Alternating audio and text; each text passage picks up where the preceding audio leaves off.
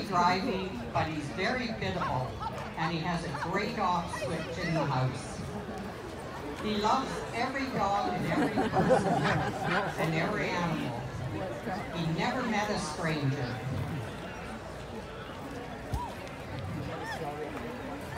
Horses have been here, and that can be quite interesting as well.